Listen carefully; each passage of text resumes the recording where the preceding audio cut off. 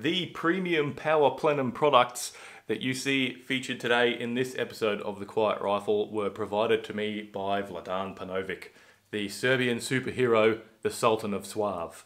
I will link his channel in the description.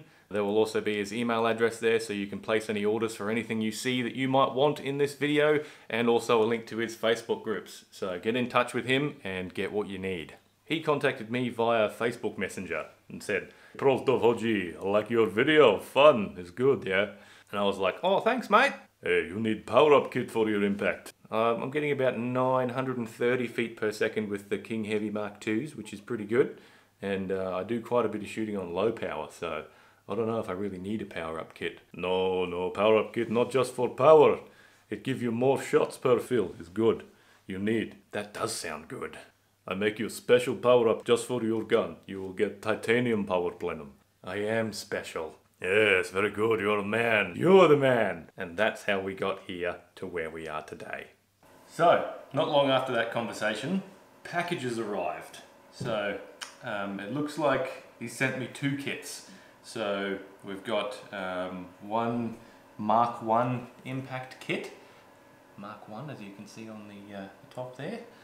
And a whole bunch of O-rings and some lovely artwork. It's pretty good. It's pretty good, I gotta say. and some instructions. Um, so let's separate it. We got uh, titanium plenum. Titanium. Mmm, juicy. That's definitely going on my gun. Um, a bunch of Delrin and uh, regular O-rings to seal that particular plenum onto my gun. Very nice.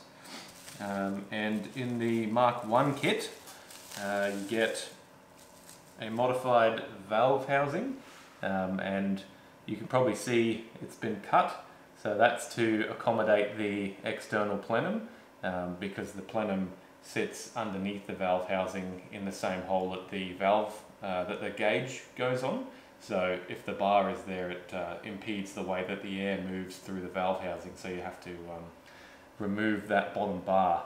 Um, and on my gun, this won't fit in my gun because this is for a Mark 1 impact.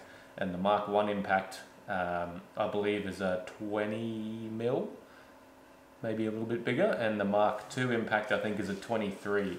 So there's a few little differences with it. There's a um, this valve housing uh, and or the, the valve seat rather, which is in there, um, that can be removed and swapped out. And I'll probably do that on this one just for giggles because he sent me a titanium valve seat as well, which is very good. Um, and I believe that in the Mark II impact, the valve seat is actually integral, so I don't think I can remove it. But we'll have another look at it and see. Maybe you can, maybe you can. Um, but yeah, this valve seat is for this valve housing. So we'll put that over there. That's going to go in um, my dad's Mark 1 Impact. So power up kit for dad. Very good. Put the plenum over there. I believe that's an aluminium plenum, that one. O-rings, O-rings, instructions, and you get um, some Delrin as well, Delrin uh, seals, so you can swap your C3 bumper out with one of these if you order these kits, which is a fantastic idea because they all eventually fail. Um, we've also got a, a barrel end with uh, a ported transfer port, same as what you would do if you were doing a performance mod on a uh, on like a high performance car air intake type of a deal. It's wider at the bottom and um, the air flows through it uh, smoother, I guess, is the best way that I could explain it. And we've got also a pellet probe, and this pellet probe has been half mooned so that the air can flow through it a little smoother. As you can see there, the bottom of it's been sort of machined out. Very nice, handy. You can get a couple of extra feet per second with that one. Um, we've also got a hammer weight slightly heavier hammer weight to cope with uh, the heavier um, amount of power that I guess we're going to make. And that's about that. So parts that will be going into my impact uh, today will probably just be the plenum and the pellet probe, possibly the hammer weight, and possibly this Baduba, the barrel end. It would be cool to have a um, ported barrel end on there. Um, and in the future, um, I may make some other changes as well, but um, for today, that's pretty much all I'm going to do. But if you have ordered an FX power plenum, uh, the disassembly part of this video uh, will, will, will cover what you have to do to actually um, get that job done, get that install done, um, because it's basically the same thing, but um, the FX kit will have um, parts that you can just swap in, and the, the modifications that I'm doing today, you probably won't have to do all the mods. You just have to um, watch the disassembly and then put the parts that you're upgrading back in instead of the parts that um, were in your gun in the first place. So it's going to be pretty simple. Much easier than you think it is. Much, much easier. So the first part of this install is safety, as always. So bust your gun out of the safe, open up the cocking handle, remove any magazines, make sure that the breech is clear, nothing down the tube, and decock the gun by holding the trigger and riding that cocking handle forwards. Second, um, skip over to the other side of the gun, move your hammer spring tension setting to minimum, and then remove the bottle. Once the bottle's off, um, fire off a couple of shots on that minimum setting until the regulator releases what air it's still holding and then you are completely degassed and safe and ready to rock. If you can't make noise um, and you don't want to fire off blank shots, you can also back out the pressure gauge for the regulator. Um, just be careful if you do that, just open it up a little bit, a couple of uh, threads until you hear it start to hiss and then once it stops hissing, then you can um, remove it completely and you should be completely degassed. Obviously you have to remove the bottle for that too. Ooh! So you only need basic tools to do this job. Um, starting on the left hand side we've got a pair of uh, vice grips. Um, you can modify your vice grips by drilling a little hole in them, we'll cover that later on. Um, but then we've got a 300mm shifting spanner, an 11mm regular spanner, um, some Allen keys, just grab your whole set. Um, you're going to be using two, two and a half, three and four millimeter Allen keys, so have them on hand. Um, I'm just using this screwdriver because it's, it's just easier. Um, I have a special little thing full of different screwdriver bits that mimic the Allen keys, so, and that's a nice thing to have as well. And lastly but not least, your calipers so that you can measure all the bits and make sure they're the same length when they go back in. Very simple, nothing expensive. Probably get all of these tools for $20 if you went down to your local tool shop and bought them individually. The next piece of the puzzle that will make your life infinitely easier is having a nice clean workspace. So separate your products from your tools, have a nice sort of uh, soft surface with a bit of friction on it like a tablecloth. I'm using this little piece of cloth here um, seems to do a good job of stopping bolts running away and you know o-rings rolling off the table and stuff like that because um, we're going to lay them all out as we take it apart so that we know exactly where everything went. So let's start with the basics first. We will remove the barrel. Very simple, especially if you get the Allen key right. so this is a 3 millimeter Allen key. Pop him in the back, unscrew, pop that grub screw up somewhere smart. Slide the barrel out, lay the barrel down. Your next move is to remove the top rail. So there's two small screws at the back and one big screw at the front. I'm using a 4mm Allen key for this, for the big one at the front that is. This one's a little bit tight usually. There we go. Back it right out. For the two smaller screws at the back of the rail, I'm using a 2mm bit for my screwdriver, but you can also use a 2mm hex wrench. I just prefer the screwdriver, it just feels easier to use. Back those bad boys out. Now, leave all of those screws inside the block there. That way you won't have to figure out which ones go where because they'll already be where they're supposed to be. Same size again, two millimeters for the cheek piece. There's uh, four bolts on this one. Once again, we're going to back them out and we're going to leave them in the actual unit so that we know that those exact bolts go back in that exact spot. Keeping the bolts in it, pop him aside, there we go. So before we go any further with disassembling the superstructure of the gun, we're going to take the valve stem apart because once it's, it's just a little bit easier to do it with the gun intact. So we'll um, unscrew your valve adjuster. Remember to measure it before you do this if you intend to uh, return to a, a, similar spot. But the um, for me, putting a plenum upgrade on, you're going to have to retune anyway. So yeah, not much point in measuring it. there is an 11 millimeter spanner head. So we're going to chuck the old 11 mil on that one, back it out a smidge. Shouldn't be too much on that one. And then place that in line with your little valve bumper. This next bit you need some different tools. So we've got the old long nose vice grips and we're going to pull the valve stem out against the spring tension, clamp the vice grips over it and then remove the, uh, the end of the valve stem just so that uh, when we come to take the rest of the gun apart that front end of the valve stem doesn't hang up uh, on the inside of the gun there.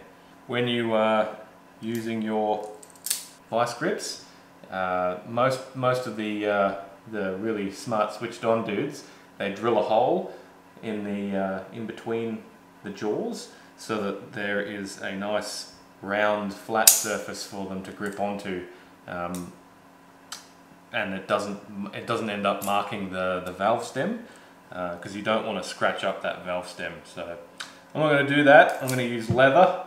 I'm just going to whack a piece of leather on there and use that to the as my holding surface. Ooh one of these days I'll get around to to drilling the hole but it won't be today.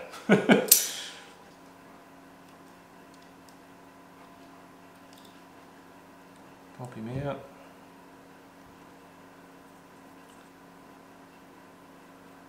Leather on.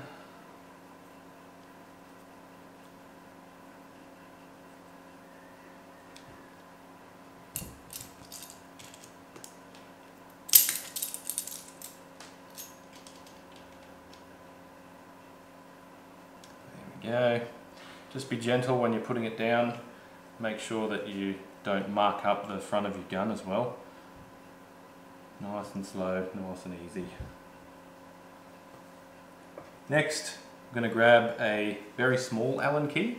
This is a this is a one millimeter Allen key, and I'm going to use it to put it into the little tiny hole on the end of the valve stem and use that to get some leverage to start spinning it.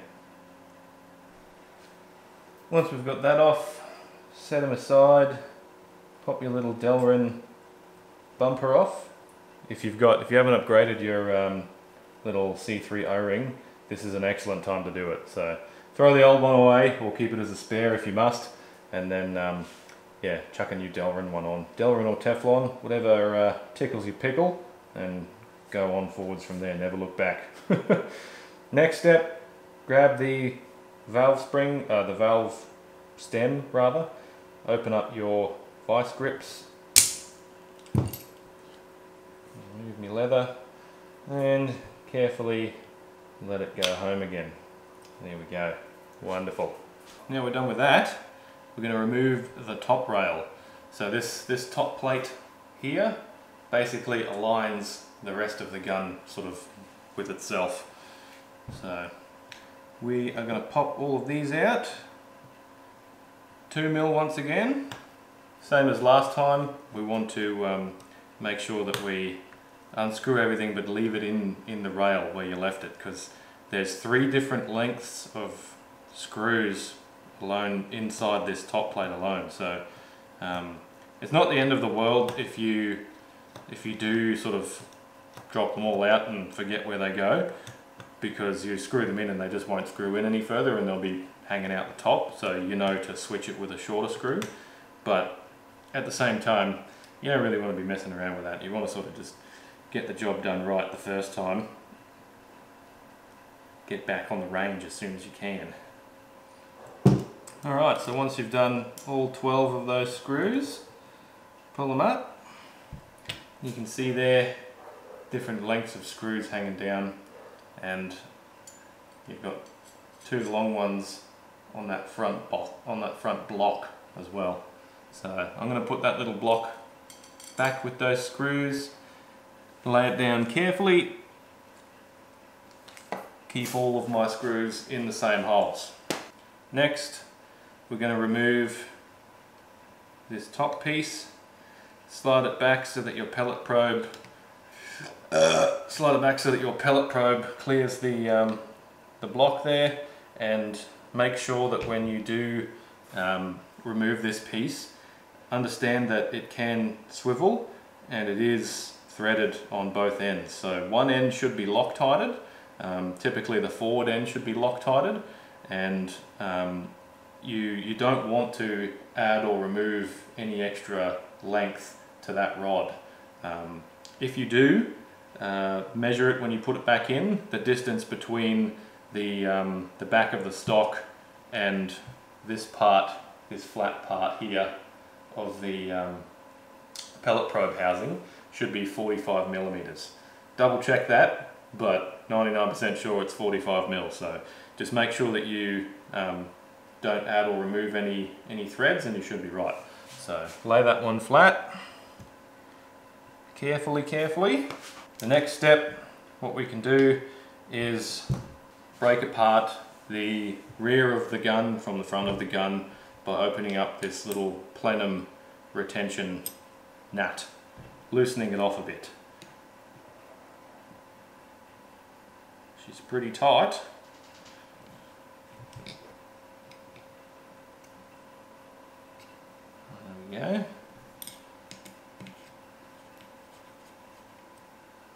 You can leave it in there. Careful. Remember the valve rod is in, the valve stem is in here. So you don't want to bend that. Just carefully, carefully. it's going to contain our hammer springs and all that other jazz. So carefully remove that. Lay them all down.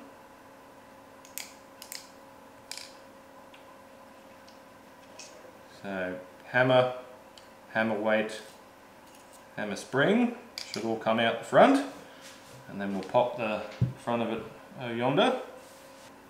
This next piece we can just, mine's, mine's just hand tight so we'll undo that bit like so. Factory plenum. I believe factory plenum is 25 cc's for the Mark II impact and 20 for the Mark I impact. So there's no real need for us to take this apart any further. Um, and I believe if you purchase the FX Power Plenum, um, this is all one piece. So you just put your new one in there and off you go. So lovely. Okie dokie. So for this next piece, um, we want to get the uh, valve housing out. So we have to remove the pressure gauge. That is um, 27 millimeters on the flat bit to flat bit. I'm just going to use a big 300 millimeter um, shifting spanner. So very gently because it is brass, soft. Make sure that you get it to fit nicely and then carefully just crack the tension off it, then undo it by hand, put the gauge and the gauge cover off to one side, Now, to properly remove the valve housing, um, on the Mark II, um, you have to remove these four screws here that hold on the magazine base plate. Um, the base plate won't come free, but obviously the block is held onto it, so the um, once you get them out, you can take the block off. And underneath that, there is a um, another four millimeter Allen key nut that you have to loosen and remove. And once you've got that off, then you can um, take your valve housing out so that you can work on it.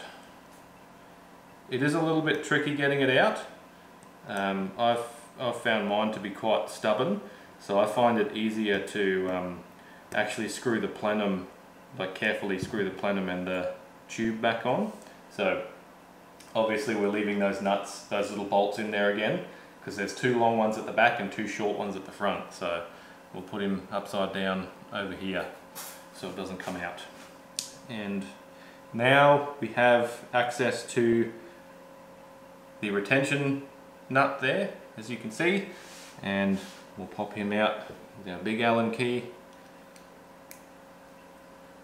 A little bit of tension on that one, but not too bad. Now this grub screw is a different size to the other one, so we'll just put him next to it. And carefully put the plenum back into the valve housing. Make sure that the little end of it sits home nicely. You don't want to push that into anything that it shouldn't be pushed into. Screw it back on a little bit. This just gives you a little bit of extra leverage to, to get it out because it has to be very, very finely, like super fine tolerances to get this to work. So carefully pull it straight back out. And don't be too shocked if you um, end up sort of cooking a few O-rings here because I can see here mine has a uh, one of my O-rings here has been snipped as it's as it's passed over that hard edge of the of the block. So that's all right. We've got extra O-rings to replace it with so that's not the end of the world. And once you've got it to this stage you can then simply unscrew it again. And then you have your pieces all nice and separated like so. And there you have it. Disassembled as far as we need to go. So there you have it the gun in exploded view. Hopefully this demystifies the impact a little bit because everyone always seems to love freaking out about how complex it is and how many o-rings there are and there are a lot of O-rings in it. There's like 40 O-rings in it, but you can just get yourself a, uh, a nice little rebuild kit like that one there, um, and you have everything on hand straight away. So it's not as difficult as everyone says it is, um, and it's it makes a lot of sense once you get it apart and once you put it back together again. It's it's really not that difficult. So check out um, Ernest Rowe's videos to double check your work as you're doing it. Um, he's the man to, to watch. So yeah. So at this stage of full disassembly, basically if you are installing the standard um, FX branded uh, power plenum kit, you would just replace, remove, say, you, you comes with the, the new plenum, the new internal spring and rod and everything else that you're going to put down into your new gun. You'll just put all of the things that you've taken off now aside and then put the new ones in and then you would reassemble your gun. So not, not super difficult, very, very simple job to do. So let's pause for a minute and talk about why I've gone for Vladan's plenum and not for the FX plenum. So the standard plenum on an Impact Mark 1, I believe is 20 cc's, and the plenum on a Mark 2 is 25. Um, and that little 5cc jump is quite significant. You can make a lot more power with a Mark 2 than you can with a Mark 1.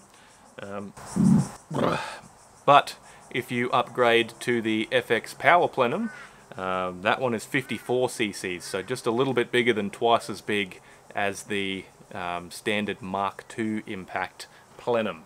Um, and that's a big power jump. Um, and that's it's good, but it's not as good as it could be. So um, if you are just looking to shoot like reasonably heavy slugs, you're going to be fine with the FX Power Plenum.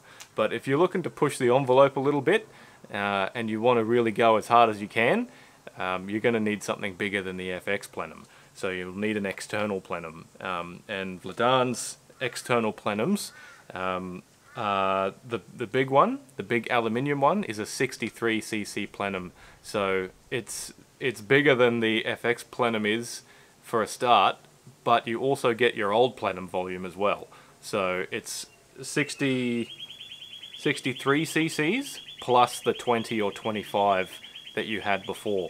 Um, and the titanium one that I'm putting on mine is a 48 cc uh, plenum. So it's 48 plus 25.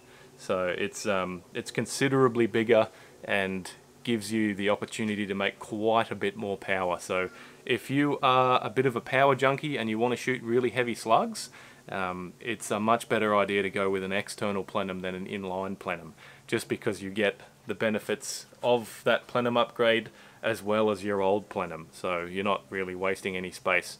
It's wonderful.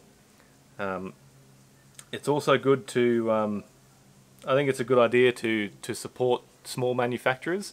And I think FX does a pretty good job of that. You can see how they've gone with um, the side shot magazines and the um, the Donny FL, um, and even with the ammunition that they're making now with the hybrid slugs. It's good to see that they're um, supporting the people who are enthusiastic about making stuff. And I hope they um, they do the same or something similar with um, external plenums as well for serious power junkies. It's a bit of a boutique upgrade, and it's not for everybody, but yeah, it is. Uh, it's going to be pretty cool once it's all finished. Time to move on to modifying my valve housing. Um, if you order the kit, um, you can just order one that's already modified um, because you, don't have to do this if you don't want to. Um, but if you are fitting an external plenum, you need to get one in the kit with the bottom bar removed. Um, and I didn't get one, I didn't get a Mark II one because I've already got my standard Mark II one here. So I'm just going to modify mine. I'm going to go ahead and cut that bar off the bottom and um, bevel the edges around it and sand it and so it's nice and nice and smooth and there's no sharp edges and there's no burrs floating around in it.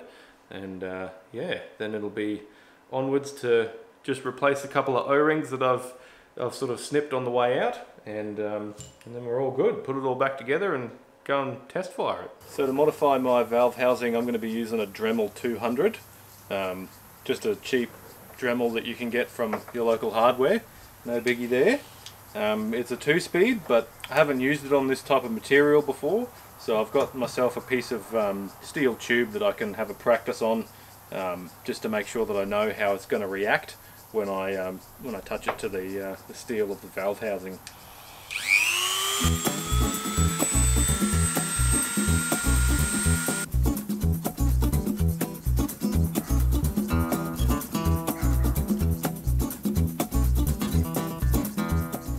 So here we are, as you can see I'm all taped off. Um, I put the tape a couple of millimeters further in than I needed to. So just to give me a little bit more material to work with. Um, with a job like this it's always important to remember that you can remove stuff but you can't put it back on. So um, I'm going to be fairly conservative with where I've where I've left my marks. Um, if you have a look in there you can see there's a fair bit of meat between um, where the uh, valve seat is and where I'm cutting. And same on the other side there's um, quite a bit of juice left behind. You don't have to be right up on it. You can if you want if you're uh, super duper handy and you're you're very practiced but uh, I'm not going to be running any risks. So I'm just going to um, remove the bulk of the bar and then uh, round off all the edges making sure that I don't scratch up anything that I don't need to.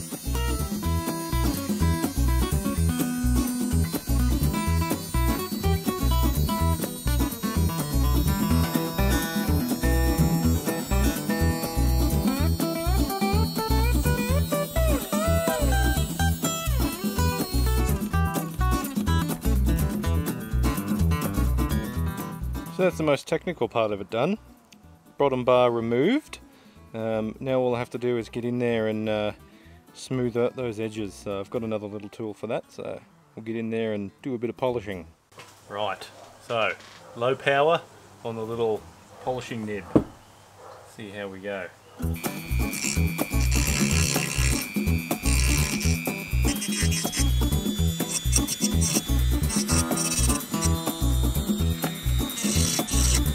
So that came up very nice. Um, just a quick grind off with the cutting wheel to remove the bulk of it and then uh, a quick little buzz with the um, sanding stone thingy. Uh, I do actually have some little sanding wheels of sandpaper but because it's come up so good already I think I'm just going to step out uh, all the way into um, the sort of wet and dry type polishing sandpaper and then just give it a quick polish make sure everything's uh, as smooth as it can be and then call it good. That little Dremel's wicked, eh? Pretty happy with that. Smooth, wonderful, I like it. Might spray it down with some goo.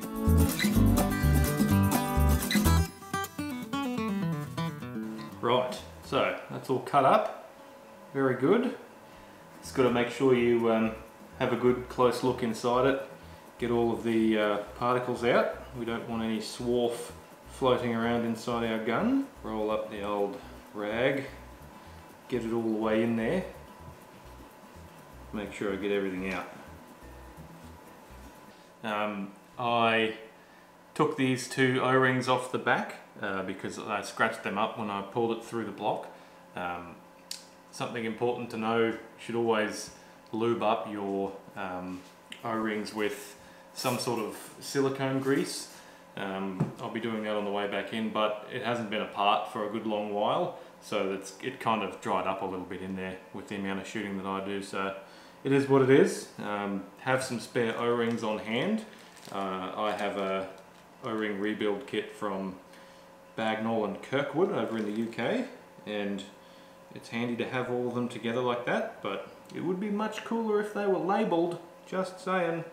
Um, but yeah, anyway you can just measure them and um, that's what I've done. It was the B29 O-ring, uh, which is a little different from the um, the ones that you'll see on my Word document if you go into my Google Drive and download the O-ring schematic that's on there. More than welcome to have that. Um, but whatever O-rings that you have to uh, replace, just measure them, measure the broken ones, and then measure the new ones, make sure they're the same thing. And uh, Robert's your father's brother, so a little bit of goo, lube them up a little bit and slide them back on and we'll be, uh, we're in business. Doesn't take a huge amount. Just a little bit on the old fingers. This is how Ernest keeps his, uh, his skin so healthy. Here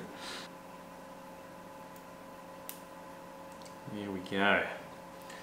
Now I'm just going to put a little bit more on the rest of it so that it slides in nicely. Don't end up snagging any O-rings on the way back in.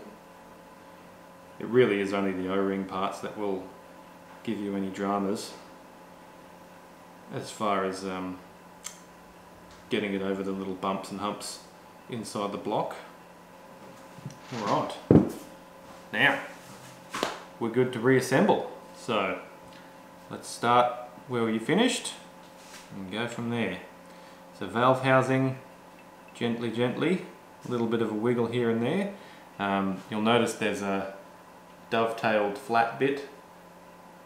That's the bottom. So line up the bottom as best you can and push it through. A little bit easier this time.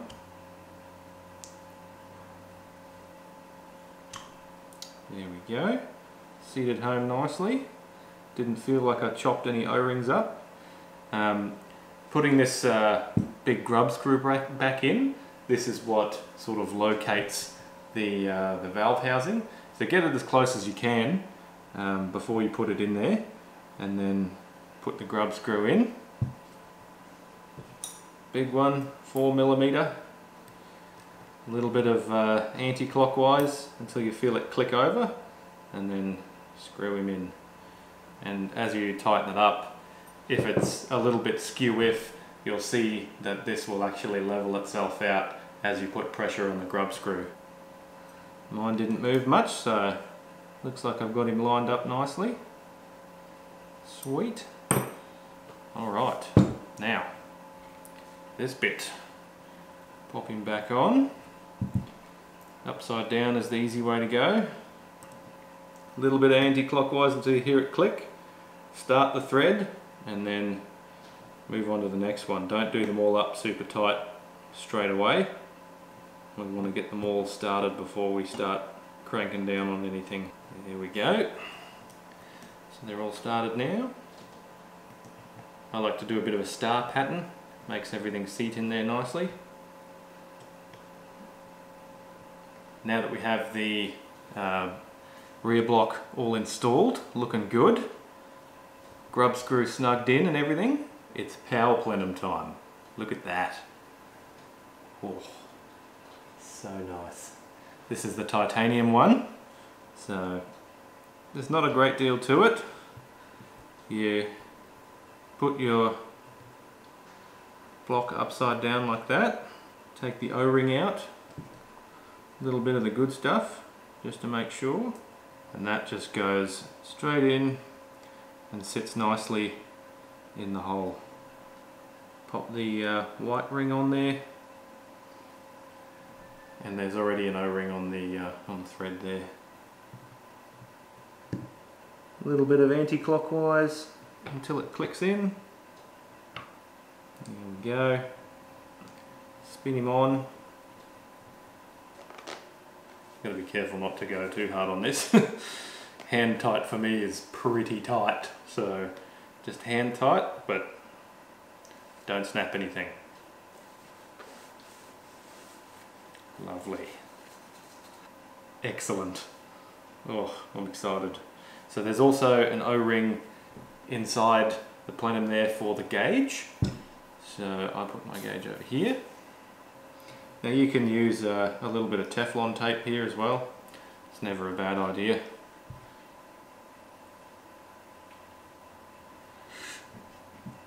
I'm just going to give this the tiniest little bit of pressure with my big shifter.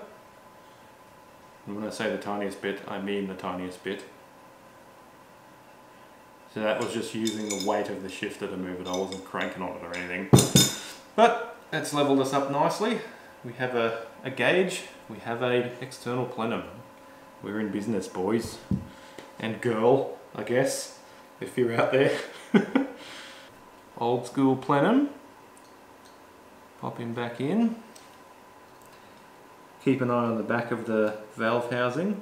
Make sure that your the end of the valve stem seats in the middle. Hopefully you can see that. Mine's gone in there nicely. Hand tight on that one as well. Carefully feed your two main pieces back together. Give it a little bit of a jiggle just to get it over those two O-rings. There we go. And now we're just going to uh, take the slack out of this, this bolt here. Still going to have to um, tighten it up again later, but for now it's just enough to just to keep it all together. We don't we don't want to crank down on that one just yet because as you can see it won't be lined up. Next we've got spring, weight and hammer. It goes in there like that. Check it on the top. You can see through the, the window at the top there that it's all seated correctly. So to make things easier on ourselves, we'll put the pellet probe assembly back in. Line up the cocking handle with the little steel piece that it sits in. Put the top plate back on. This top plate we want to do the old start everything off. Get each little thread seated and then give it a couple of turns but don't snug them down. A little bit anti-clockwise till you hear the click and then give it a couple. Alright. So all of them are started now. And what I'm going to do is star pattern, sort of the same thing you would do if you were putting a tyre back on a car. Because this plate aligns everything, you want to sort of go across and back starting somewhere near the middle and working your way out. Now that that's done, we can go back and tighten our plenum retention nut down here.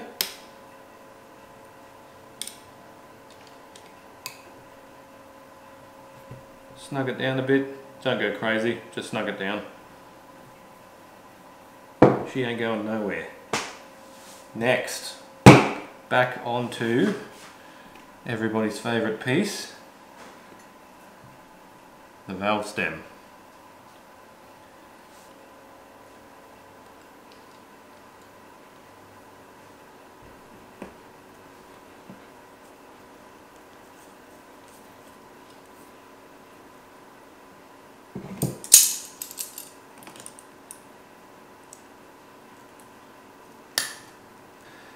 Delrin C3 O-ring.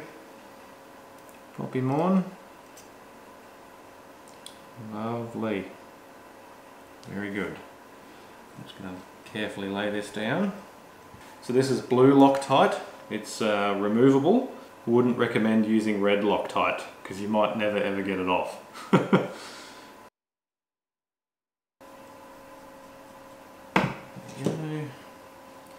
Little teensy weensy one.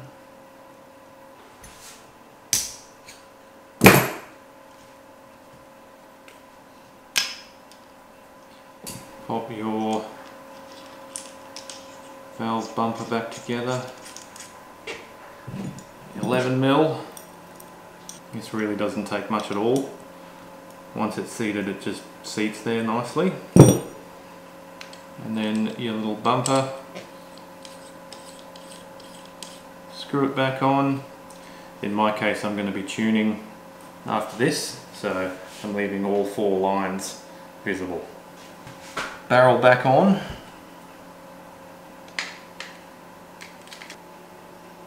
I like to put the barrel in a little bit off center and then spin it around and watch it click in just so that I know I've seated it properly.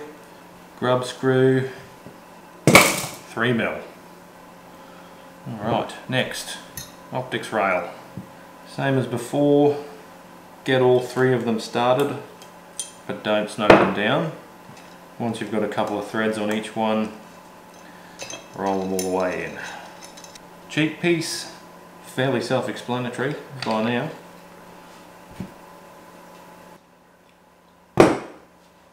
Last but not least, gasser up.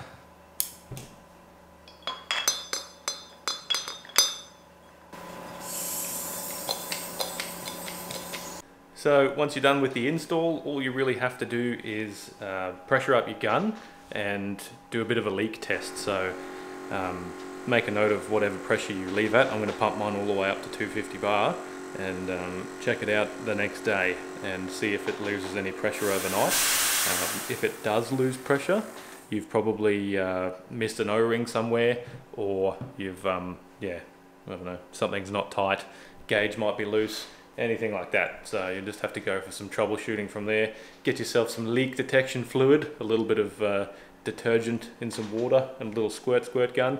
Squirt squirt, see where the bubbles come out and uh, yeah, fix as you go.